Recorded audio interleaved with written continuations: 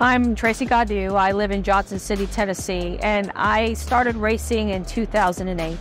When I was a little girl, I think I was maybe six, I saw a Corvette and I fell in love with them. And I thought one day I'd own one. And it, it took me a while, but I finally got the, the car that I have. And I'm a one woman race team. I mean, I'm the team driver, owner, financier.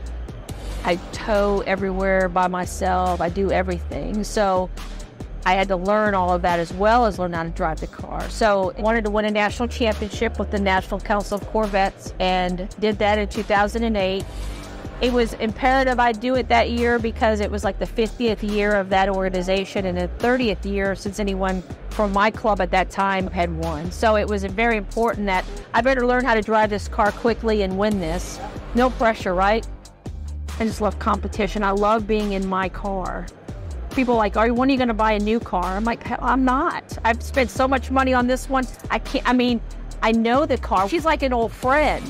I bought the car off the showroom floor. I would practice at night when I'd come home from work, and I stalled it. I spun it. Luckily, the car had a lot of torque, so if I could get the car rolling, I was pretty good. But the car is special to me.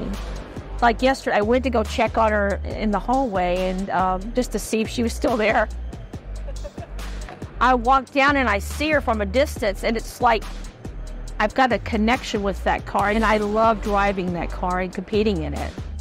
I mean, I, I race primarily with men, and that's okay because I, I, was in the military as well, in the Air Force. I was very shy when I was out of high school, and and uh, so being in the Air Force for six years helped that. Um, and you start to lean on yourself and, and do things yourself. And I'm used to being around men. I work in a medical, uh, I have a medical profession. I'm a physician assistant. I work in surgery. The surgeons are primarily men. I'm used to being around men, so talking to them is no big deal. And they really respect me and what I'm doing and what I've done. And so I'm just not out there trying to be a girl racing. They really see me as an equal, and, and that's huge that was on that was a big honor that people thought enough of me to nominate me. Then to be chosen by Hoosier down to the 25. How?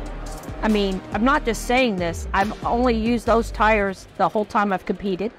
They're very, the company's very special to me. I love the tire. There's nothing better than a brand new Hoosier. So truly, I love the brand, and I'm very brand loyal. And to be considered to be a part of the that brand. I can't believe that. You know, I mean, I don't have thousands and thousands of followers, but they're very engaged with me and they care about what I'm doing. I think that means a lot. I have two very separate lives um, racing and then working. So my personal life is sacrificed from that. Sometimes you get to the point where like, why am I doing this? Is this worth it? I'm to be honest. I have had those moments several times, but they're very brief because I don't want to stop doing this. It's a lot of work, but I always come back pretty quickly and say, yes, it's worth it. We're to keep doing this till I can't anymore. My name's Tracy Gaudu, and I'm a Hoosier hero.